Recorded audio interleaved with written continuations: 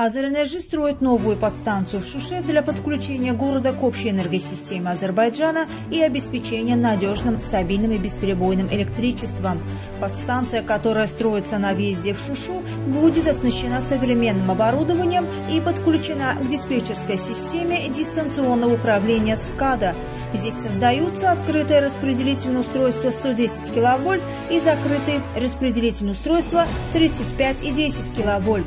Несмотря на туманную, снежную и морозную погоду, работы продолжаются ускоренными темпами, говорится в сообщении открытого акционерного общества «Азерэнерджи».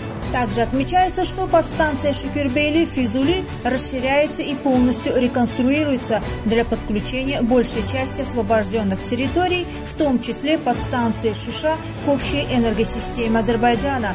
К подстанции на расстоянии 51 километр от Эмишли подводится новая линия 110 киловольт.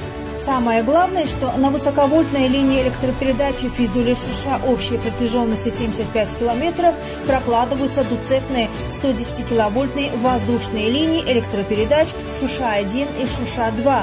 На воздушной линии электропередач уже выполнено 70% работ. В ближайшее время работы будут завершены.